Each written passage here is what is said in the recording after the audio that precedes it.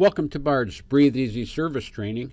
My name is Rick Downey, and today we're going to look at setting the taps on the transformer after the unit is installed. This information applies to all Bard 230 volt units. Once the Bard units installed on electrical connections are completed, use of the correct tap on the control transformer must be verified.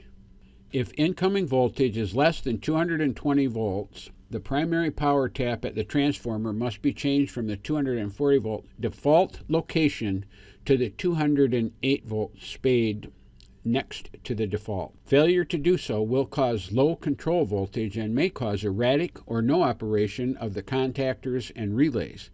It also could cause premature thermostat or control failure. So on all Bard units, 208 to 240 volt single and three phase, it requires the transformer tap be located based on supply voltage. Here we're just measuring the incoming voltage.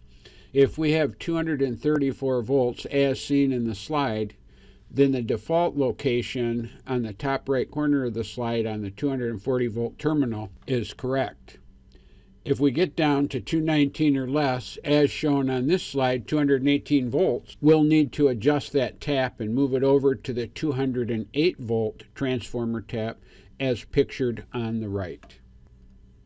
To complete your job, before you're done, verify the low voltage. So we want to check the secondary voltage on R and C on the transformer, and we should be very close to 24 volts.